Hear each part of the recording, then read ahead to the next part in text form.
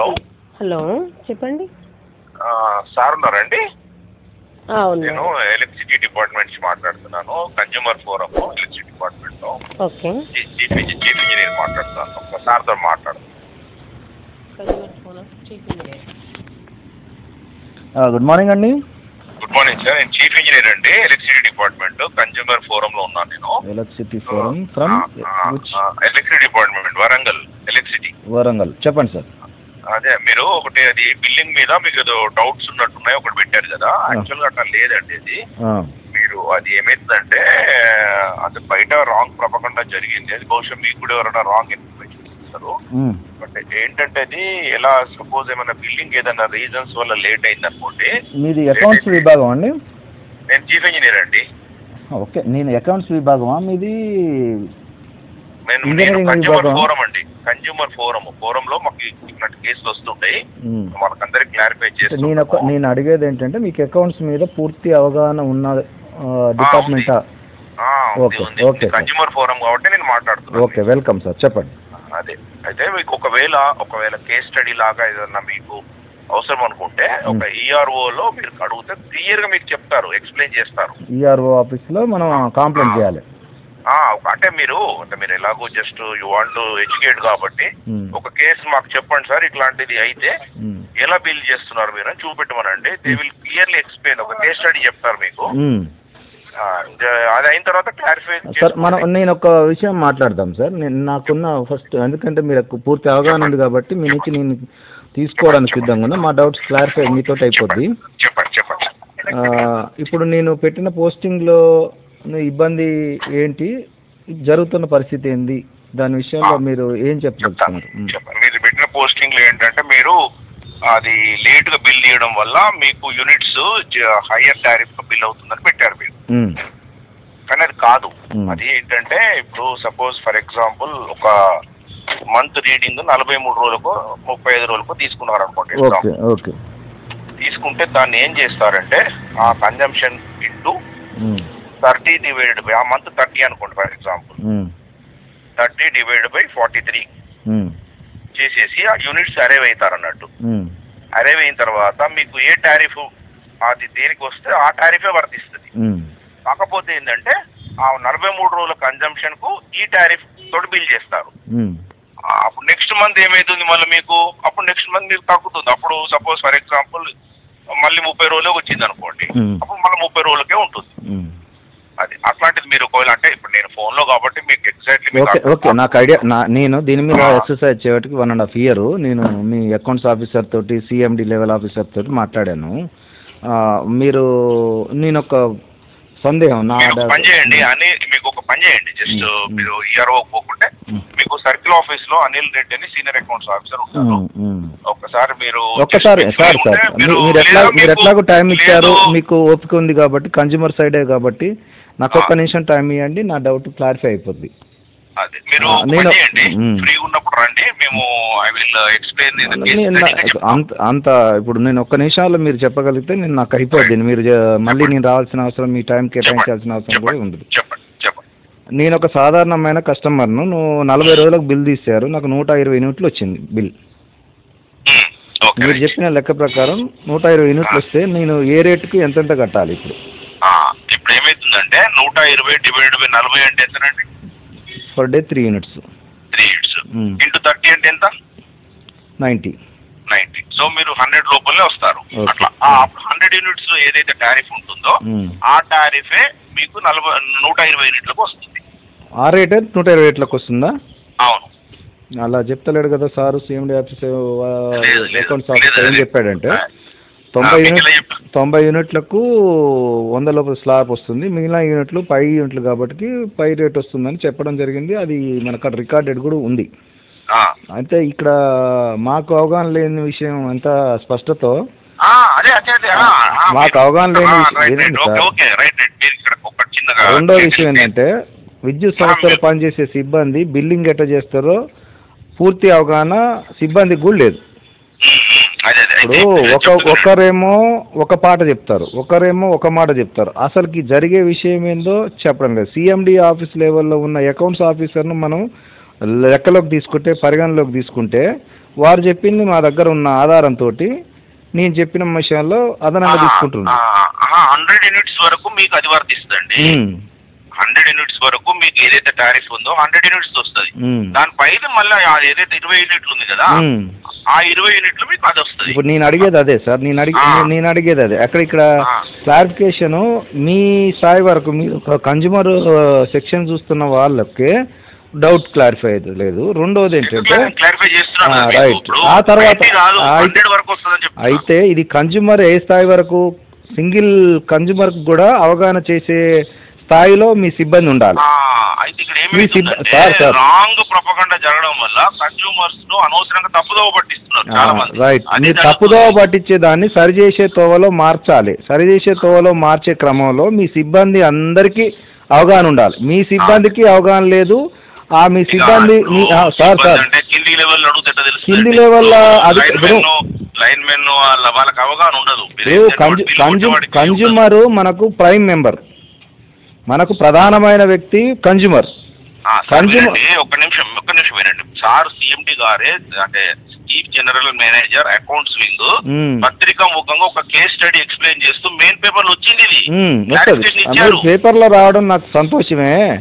కానీ మీరు చేయాల్సింది ఏంటంటే ఒక వ్యాపారం కానీ ఒక విధానం కానీ ఒక స్కీమ్ కానీ ఇంప్లిమెంటేషన్ అయ్యేటప్పుడు ఎప్పటికప్పుడు ఎక్కడ కూడా ఎటువంటి సమస్య ఎదురైనా పరిష్కరించడానికి ఒక వింగ్ ఉండాలి. ఆ వింగ్ సరైన విధానంలో కన్జ్యూమర్కి అందుబాటులో ఉండాలి.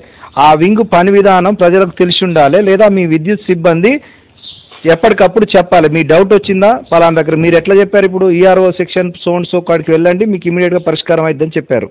ఆ మాట ప్రతి మీరేం అందరూ అన్ని ఎక్స్ప్లెయిన్ చేయలేరండి. మీరు చెప్పినంత విధంగా ఎక్స్ప్లెయిన్ చేయలేరు. ఎందుకంటే నేను మిమ్మల్ని అడిగింది అందుకే. మీరు ఏ విభాగం అని అడిగింది అందుకే.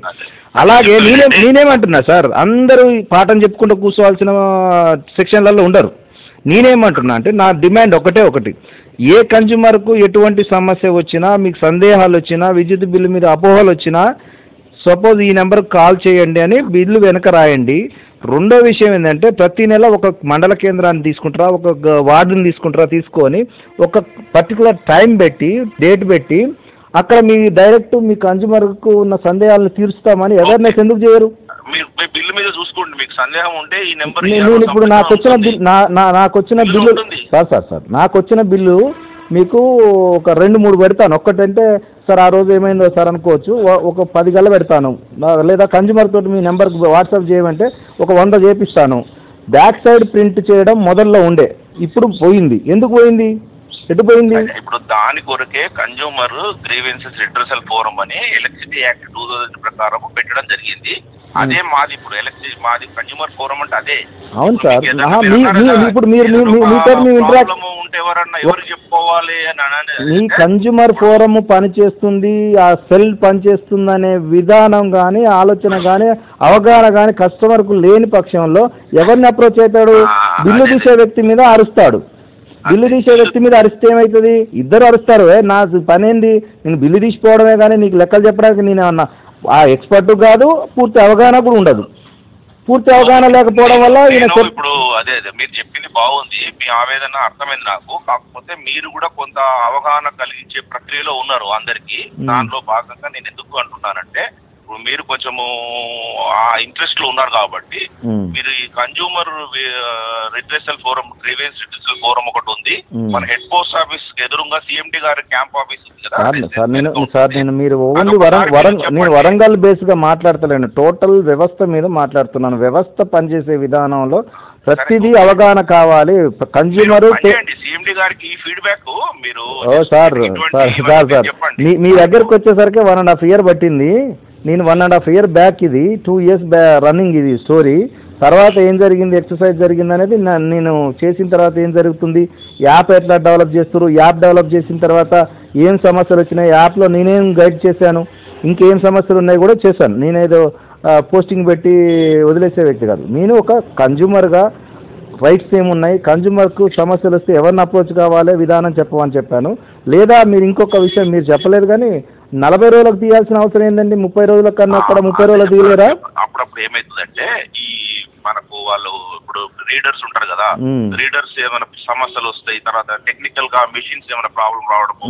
లేకుంటే అదర్ సాఫ్ట్వేర్ ఇక్కడ ఇట్లాంటి కొంచెం ఉంటాయి కదా. రైట్. ఇంకోటి ఇందాక మీరు చెప్పారు కదా పైన పెరిగిన ఇరవై యూనిట్లకే అదనపు రేటు కానీ లో వంద లోపల మాత్రం వంద వంద వరకే పైన ఇరవై పెరిగితే అదనంగా కట్టాల్సిందే కదా మేము? అంటే అది ఇరవై ఎలాగో మీకు మీదే కదా ఆ, కన్జంప్షన్ నేను అదే సార్ అక్కడనే ఉంది. మీరు మతలబ్ మతలబ్. మతలబ్ అంతా అక్కడే ఉంది. ఆ ఇరవై పెరిగినప్పుడు ఎందుకు పెరిగింది? ముప్పై రోజుల్లో ఇస్తే అది వంద లోపలనే ఉంటుంది కదా. మీరు వాడుకున్నారు కదా మేము వాడుకున్నది కూడా సార్. మేము వాడుకుంది మీరు విద్యుత్ రెగ్యులేటరీ కమిషన్ డైరెక్షన్లో ఏం చెప్పారు? ముప్పై రోజులకు ఒకసారి మేము బిల్లింగ్ తీస్తాం. మీరు ఏ స్లాబ్లు ఉంటే ఆ రేటు కడతామని రాశారు తప్ప మేము నలభై రోజులకు తీస్తాం. మాకు సిబ్బందితోటి ఇబ్బంది ఉంది మాకు అని మేము నలభై ఐదు రోజులకు తీస్తామనే క్వశ్చన్ లేదు కదా మీకు? అది అది ఎప్పుడు జరగదు అది. అక్కడ సార్ మీరు మీరు మీరు మీ- మీరు? మీ స్థాయిలో సార్ మీరు ఒక పని సార్ నేను ఒక సార్ నేను నా కన్జ్యూమర్ సైడ్ నుంచి నేను మాట్లాడుతున్నాను. ఒక ఒక కన్జ్యూమర్గా నేను కన్జ్యూమర్ను ప్లస్ కన్జ్యూమర్ సైడ్ కూడా మాట్లాడుతూ ఒక కన్జ్యూమర్ నుంచి అదనంగా మీరు చెప్పిన దాని ప్రకారం నెలకు ఒక ముప్పై నుంచి యాభై రూపాయలు అదనంగా తీసుకోవడం వల్ల కన్జ్యూమర్ ఒక్కడే ముప్పై రూపాయలు పోతుంది కాదు మొత్తం కన్జ్యూమర్లు కూడా ముప్పై నుంచి యాభై రూపాయలు పోతున్నాయి. యాభై రూపాయలు ఇంటూ ఎన్ని కన్జ్యూమర్స్ కనెక్షన్స్ ఉన్నాయండి మనకు? తెలంగాణ వ్యాప్తంగా ఎన్ని ఉన్నాయి? టోటల్గా అది అది ఎప్పుడో ఒకసారి జరుగుతుంది మొత్తం మీరు సార్, ఇప్పుడు- సంవత్సరం మొత్తం జరుగుతుంది ఒక్కసారి జరిగినా వినియోగదారుని దోపిడీ చేయడానికి అధికారం లేదండి. ఒక్కసారి కాదు ఒక్క రూపాయి కాదు ఒక్క పది పైసలు కూడా అదనంగా మీరు చేసిన నియమ నిబంధనల ప్రకారం మీరు చేసిన పాలసీ ప్రకారం రెగ్యులేటర్ కమిషన్ ఆదేశాల ప్రకారం ఒక్క రూపాయి కూడా అదనంగా తీసుకోకుండా విధానాన్ని రూపొందించాలని చెప్తున్నాను నేను.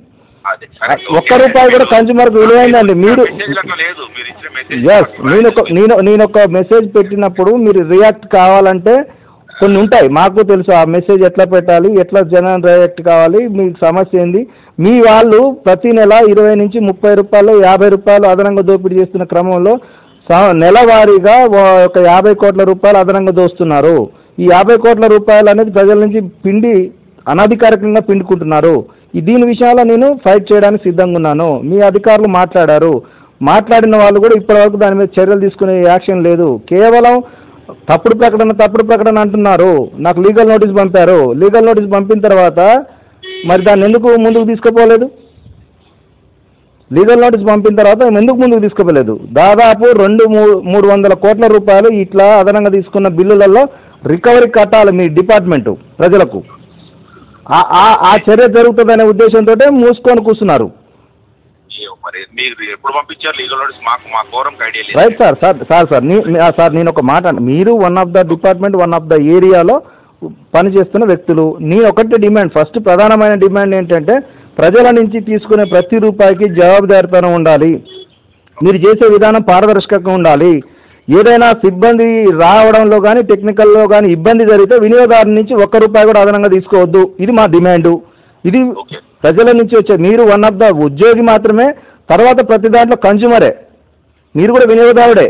కాకపోతే మీరు పది రూపాయలని మీకు లెక్కలేకపోవచ్చు కానీ మీకు లెక్కలేకపోవచ్చు కానీ రిప్లై నేను లిప్ ఇవ్వాల్సిన అవసరం లేదు. నెక్స్ట్ వాళ్ళు యాక్షన్ తీసుకుంటే నేను ఏం సమాధానం చెప్తానో చెప్పాను మాట్లాడాను. మాట్లాడితే ఓకే సార్ డూ ఇట్ మీరు చేస్తే మీ దాని నుంచి రెండు మూడు వందల కోట్ల రూపాయలు రికవరీ కట్టిస్తా కన్జ్యూమర్ కట్టినాక నాకు మీద కేసు పెట్టండి.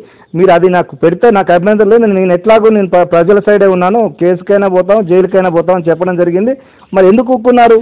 మీ సీఎండీ ఆఫీసు లాయర్గా చెప్తున్నారు కదా మీరు చేసే ప్రతి చర్య ప్రజల కోసం చేయాలి. ప్రజల డబ్బులతోటే పని చేస్తున్నారు మీ డబ్బులతోటి పని చేస్తలేరు ప్రజల డబ్బులతో పనిచేస్తున్నప్పుడు ప్రజలకు అసౌకర్యం కలిగినప్పుడు కానీ సందేహాల నివృత్తికి కానీ ఎందుకు పనిచేస్తలేదు? మీలాంటి సెల్లు మీలాంటి అధికారులు ఎందుకు సరిగ్గా పనిచేస్తలేరు? మీలాంటి అధికారులను గ్రౌండ్ లెవెల్ వరకు ఎందుకు తీసుకుపోవట్లేరు? మీ విధానాన్ని గ్రా కస్టమర్కు వినియోగదారునికి ఎందుకు అవగాహన కనిపించలేరు సరే ఇప్పుడు మీరు అన్నది మీరు మీరు ఒక మీరు ఒకసారి ఏం చేయండి అంటే ఒకసారి ఫ్రీ ఉన్నప్పుడు రండి. మా కన్జ్యూమర్ ఫోరంకు నేను ఒక్క ఫస్ట్ గ్రౌండ్ లెవెల్ వినియోగదారుడికి మీరు అవగాహన కల్పించే కార్యక్రమాలు చేయండి. ఇలాంటి పోస్టింగ్లు రావు కదా. మీ మీ విద్యుత్ విద్యుత్ శాఖను నెత్తిన పెట్టుకొని అభినందిస్తారు. కానీ గ్రౌండ్ లెవెల్లో ఏముందంటే విద్యుత్ శాఖ దోపిడీ శాఖగా ఉంది. మీరు కొంత కన్జ్యూమర్లకు హెల్ప్ చేయాలనే దానిలో ఆ- ఆ- ఆ డైరెక్షన్లో ఉన్నారు. మీరు రండి మా థ్యాంక్ యూ థ్యాంక్ యూ మీరు ఫోన్ చేసినందుకు ధన్యవాదాలు. మీరు కనీసం మీరు స్పందించి ఫస్ట్ ఆఫ్ ఆల్ మీరు స్పందించినందుకు మీరు ప్రజల పక్షాన కొంత పనిచేసే ఆ భావన ఉన్నందుకు థ్యాంక్ యూ చాలా చాలా ఉన్నాయి. సార్. నేను ఇంకా ఇప్పుడు అయిపోలే. మీ మీ డిపార్ట్ చెప్తాము. మీ డిపార్ట్మెంట్ మీద ఇది ఒక కేవలం వన్ వన్ ఒక్క అభియోగం మాత్రమే. ఇంకా చాలా ఉంది. ఆ, తెలియకుండా వినియోగదారులకు తెలియకుండా మీరు వేసే బిల్లింగ్ లేనిది వాటిలో మతలాభం అవి ఎందుకు ఛార్జ్ చేస్తున్నారు? అవన్నీ కూడా మాట్లాడుతుంది ఇప్పుడు. కాదండి మీరు ఓన్లీ ఒక బిల్లింగ్ కాదు. అదర్ సేవలు కూడా ఫోరమ్స్ ఉంటవి మీరు ఒక ఆఫ్టర్ ఫెస్టివల్ ఒకసారి ఫ్రీ ఉన్నప్పుడు రండి. వెల్కమ్ సార్ కన్జ్యూమర్స్ ఎడ్యుకేట్ చేద్దాం. చాలా వెల్కమ్ నేను హైదరాబాద్లో ఉంటా మీ ఆఫీసులో కలుస్తానండి మీ ఆఫీసులో ఎక్కడ ఉందో అక్కడ ఆ, అట్లా ఓకే. హైదరాబాద్లో. ఓకే. నాది రెండు రాష్ట్రాలు తిరిగింది. మీ రెండు రాష్ట్రాల సీఎండీలు మాట్లాడారు. మళ్ళీ తర్వాత అకౌంట్స్ ఆఫీసర్ మాట్లాడారు. మరి ఇప్పటి వరకు చర్యలు లేవు. ఇప్పుడు మేము మళ్ళీ దాని మీద అంతా మాట్లాడుతున్నాం. సార్ సార్ ఒక్క ఒక్క మాట ఏమనుకోకరు నిజం మాట్లాడితే మీరు ఇబ్బందికి పడకండి. మీరు కేవలం సూచన మాత్రమే చేయగలరు సార్. ఎందుకంటే మీరు. సీట్లో కూర్చున్నారు మీకు అధికారం ఉంటుంది పరిధి ఉంటుంది ఆ పరిధిలో మాట్లాడగలరు కానీ ఒక. వినియోగ వినియోగదారుడు ఇస్ ఏ వినియోగదారుడి ఓనర్ వినియోగదారుడి యజమాని. అంతే తప్ప మీరు వన్ ఆఫ్ ద ఎంప్లాయ్ ఒక ఉద్యోగి. ఎంప్లాయ్ కానీ ఇక్కడ కాదు ఇప్పుడు ఫోరంలో సపోజ్ అరే మీ అధికారులు ఎట్టుంటారో మీ అధికారులు ఎట్టుంటారో మీ అధికారుల మీ అధి మీ అధికారుల పనితీరు ఎట్టుంటుందో తెలుసు సార్. మీరు చేసే సూచనలు పట్టించుకుంటే ఈ ఈ పరిస్థితి ఎందుకు వస్తుంది? పట్టించుకునే పరిస్థితి లేదు. ఎందుకంటే మీరు ఆఫ్ ద రికార్డ్ చెప్పలేరు కానీ వినియోగదారుడుగా ఆయన నాకు ఎలక్ట్రిసిటీలో ఎంతోమంది ఫ్రెండ్స్ ఉన్నారు. ఎలక్ట్రిసిటీ డిపార్ట్మెంట్లో ఏఈలు కాంచి డిఈల కాంచి ఎస్సీల వరకు నా వెల్విషర్స్ ఉన్నారు. బట్ వాళ్ళు చెప్పే సూచనలు పట్టించుకుంటే ఈ పరిస్థితి రాదు. రీసెంట్గా నేను ఒక పోస్ట్ పెట్టాను. ఏం పెట్టాను?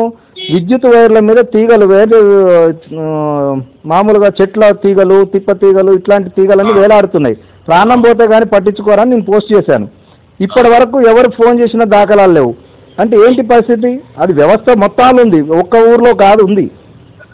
ఇది నేను కావాలంటే మీ ఊర్లో మీ ఏరియాలో ఎక్కడుందో చూపించి పోస్ట్ పెట్టమంటే నేను సాయంత్రం వరకు పోస్ట్ పెడతా. ఆ నెట్వర్క్ నాకుంది. కాదులేండి మనము మనము సార్ సార్ నేను ఒక్కటే నేనేమంటున్నా సార్ ప్ర- ప్రతి ప్రతి సమయం అందుకని అందుకనే మీకు ఒకటి అడిగాను. మీరు కన్జ్యూమర్ సైడ్ నుంచి కాబట్టి ఇంతసేపు మాట్లాడాను ఒక ఏఈనో ఒక డిఈనో ఫోన్ చేసి మాట్లాడితే ఆయన ఒక స్పెషలైజేషన్ కేటగిరీ కాదు. ఆయన అన్ని పనులలో ఇది ఒక పని. కాబట్టి ఓకే నేను నేను ఇప్పుడు చెప్తున్నాను విద్యుత్ శాఖ రేపు లెటర్ పెడుతున్నాను విద్యుత్ శాఖ నిర్లక్ష్యం వల్ల ప్రమాదాలకు గురైనప్పుడు ఎన్ని నష్టపరిహారాలు ఇచ్చారో ఎంత డబ్బు వృధా అయింది? ఈ నా- నిర్లక్ష్యం వల్ల నష్టం డబ్బులు ఎవరు చెల్లించాలి? ఫైనల్గా వినియోగదారుడే చెల్లించాలి కదా? ఇప్పుడు- మరి అది ఆ నిర్లక్ష్యం వల్ల బాధ్యులు ఎవరు? ఆ నిర్లక్ష్యానికి బాధ్యులైన ఉద్యోగి నుంచి రికవర్ చేయాలి అది. అవుతుంది. ఇప్పుడు మాకు మా ఫోరంలో ఫర్ ఎగ్జాంపుల్ ఏదైనా అట్లాంటి కేసు రిజిస్టర్ అయితే విచారించి ఎవరికి ఉన్నారో వాళ్ళకి పెనాల్టీ వేస్తాం. అది కావాలని కోరుకుంటాం. ఇప్పుడు మళ్ళీ ప్రజల ప్రజల సొమ్ము నుంచి బిల్లులు తీసుకొని విద్యుత్ సంస్థ నష్టాల బారిన పడదని పోయిన సంవత్సరం విద్యుత్ వాడితే ఈ సంవత్సరం డబ్బులు వేయడం ఏంటి? మేము ఒకటి ఒక కేసులో ఖమ్మంలో కొత్తగూడెం వైపు కన్జ్యూమర్కు at a time wrong bill కొట్టారు. ఆ, మేము పదిహేను వేల రూపాయల పెనాల్టీ వేసాము ఎవరైతే రాంగ్ బిల్ నిన్ననే నా మిత్రుడు ఒకటి ఒక విజిలెన్స్ వాళ్ళు వెళ్ళి ఒక దాని మీద పెనాల్టీ వేశారు. ఏమని వేశారు నాకు నా నేను మొత్తం నాది డేటా కావాలంటే పంపిస్తాను ఇప్పుడే. అతని కోళ్ళ ఫారం ఉంది కాబట్టి డెబ్బై ఐదు వేలు పెనాల్టీ వేయాలి. ఈయన డొమెస్టిక్ కాకుండా కమర్షియల్ వాడుకున్నాను. అతనికి ఆ ఏరియాలో అతని పేరు మీద కానీ అతని ఇంటి పక్కన కానీ కోళ్ళ ఫారమే లేదు. అంటే ఏంది ఇంత నిర్లక్ష్యం? కోళ్ళ ఫారం లేకుండా కోళ్ళ ఫారం ఉందనేస్తే మరి వేరే వాళ్ళకి రాయబోయి ఈయనకు రాసిరా ఈయనకి పోయి ఆయనకు రాసిందా? నువ్వు తప్పు చేసిందని శిక్ష వేస్తే ఓకే నీకు డ్రైవింగ్ లైసెన్స్ లేదని నువ్వు ఐదు వేల పెనాల్టీ వేసి రెండు వేల పెనాల్టీ వేస్తే అసలు బండే తోలడాడు బండే లేదు ఆయనకు? ఏంటిది? అది కోళ్ళ లేకుండా పెనాల్టీ పడితే ఎట్లా? చేసినాం సార్ నువ్వు మొత్తం ఇరవై అన్ని డిపార్ట్మెంట్లకు ఏఈ కాంతి మొదలు పెడితే ఎస్సీ వరకు ప్లస్ ఈఆర్ఓ ఆఫీస్లో అన్నిటి కంప్లైంట్ పెట్టినాం. రేపు ఏమొస్తాయి రిజల్ట్ అనేది చూస్తా. డెబ్బై ఐదు వేలు పెనాల్టీ వేస్తే ఆయన ఊరు నుంచి ఎక్కడ మా జిల్లాలో ఎడ్జిలో నుంచి జిల్లా హెడ్ క్వార్టర్కి వచ్చి ఆఫీస్ ఆఫీస్ తిరిగిపోవాలి. అంటే నీ నిర్లక్ష్యం వల్ల బాధపడేది ఎవరు? కన్జ్యూమర్ మీరు ఎక్కడ మీరు ప్రాపర్ వరంగలేనా? నాది హైదరాబాద్ బేస్డ్ నల్గొండ నాది. ఓకే నేను సమాచార హక్కు చట్టం మీద పనిచేస్తా రాష్ట్ర అధ్యక్షుడు బట్ నేను ఏమంటున్నా అంటే ఒక కన్జ్యూమర్కి ఇబ్బంది జరిగితే ఎక్కడికక్కడ పరిష్కరించే మార్గం లేదు. అది అది కావాలి. సమాజంలో మీలాగా మీకు మీరు జనరల్గా మీకు ఉన్న ఫీడ్బ్యాక్స్ బట్టి మీరు యాక్ట్ అవుతుంటారు. అంతే, అంతే. అందులో కొన్ని మీకు తెలిసి ఉండొచ్చు కొన్ని తెలియకపోయి ఉండొచ్చు. ఆ ఉద్దేశంగా నేను ఫోన్ చేశాను. Thank you thank you sir మీరు ఉదయం ఫోన్ చేసి ఇంత స్పష్టంగా ఎందుకంటే డిపార్ట్మెంట్ మీద కొంతనైనా స్పందించినందుకు ప్రత్యేకంగా మా సమాచార హక్కు వికాస్ సమితి నుంచి ధన్యవాదాలు. మీరు. థ్యాంక్ యూ ఎలాంటి ఏమైనా విద్యుత్ సంబంధించిన ఎలాంటి ఇక్కడ మా ఏరియా నేను నేను నేను ఇందాక చెప్పిన సమస్య పరిష్కారం ఏంటి సార్ ఈ కోళ్ళ ఫారానికి ఇరవై ఐదు వేలు పెనాల్టీ వేస్తే విజిలెన్స్ వాళ్ళ మీద నీ ఎంత పెనాల్టీ వేయాలి. ఇప్పుడు నేను నేను వాడుకోకుండా నా మీద ఆ ఒక బ బట్ట కాల్చి మీద వేసి వచ్చినట్టు ఇరవై డెబ్బై ఐదు వేలు పెనాల్టీ వేస్తే ఆ కుటుంబం విలువెల్లాడిపోతుంది. మేము విజిలెన్స్ డిపార్ట్మెంట్ మీద ఎంత ఫైన్ వేయాలో చెప్పండి ఎట్లా వేయాలి? ఎందుకు రాంగ్ కేసు అయితే మీరు ఏం చేయాలంటే ఇప్పుడు కన్జ్యూమర్ ఫోరం కోము ఈ థెఫ్ట్ మీద లేదు అధికారాలు. మీరు ఏం చేయాలంటే కోర్టు పోతే కోర్టు వేసేస్తుంది పెనాల్టీ ఇప్పుడు ఎట్లుందంటే సార్ మీరేమో తొడపాసం పెట్టిపోతారు మంట పెట్టుకొని మేము తిరగాల కోర్టు చుట్టూ కేసుల చుట్టూ. ఇదేంటండి నేను ఒక డిమాండ్ చేస్తున్నా సార్ నేను ఒక డిమాండ్ చేస్తున్నా. అట్లాంటి నిర్లక్ష్యంగా కేసులు నమోదు చేసిన విజిలెన్స్ ఆఫీసర్లను తక్షణమే డిస్మిస్ చేయాలి. సస్పెన్స్ కాదు. ఎట్లా వినియోగదారుని ఇబ్బంది పెట్టడానికి మీకు రైట్స్ ఎక్కడండి? thank you. సిస్టంలో జరుగుతుంటాయి. Thank you